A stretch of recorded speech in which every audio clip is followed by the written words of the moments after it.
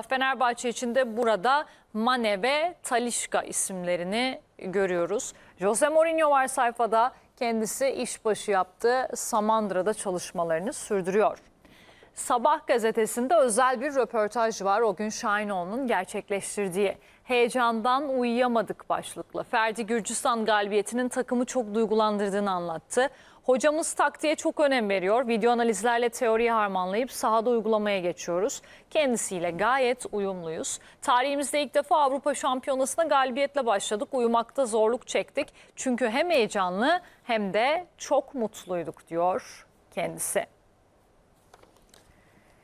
Bir sonraki gazete hürriyet olacak. Bu hakeme dikkat. Şike'den 6 ay ceza aldı. İtirafçı olup kurtuldu. Euro 2024'teki Türkiye-Portekiz maçına atanan Felix olaylı ve tartışmalı bir geçmişe sahip. Alman hakem Euro 2024'de iyi başlamış olsa da kariyeri endişe verici gibi gözüküyor. Real Madrid efsanesi Guti, milli futbolcumuzu göklere çıkardı. Arda Güler başka bir zamandan gelmiş gibi diyor. Arda Güler'e övgüler yağdırdı kendisi.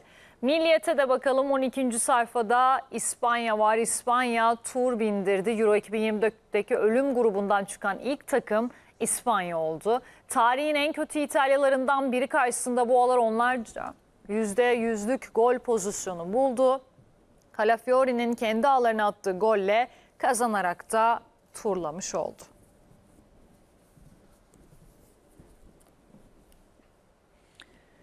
Evet manşetlerin ardından geçelim milli takımımızın haberlerine. A milli takımın deneyimli stoperi Merih Demiral basın mensuplarının sorularını yanıtladı. Demiral Cristiano Ronaldo hakkında da konuştu.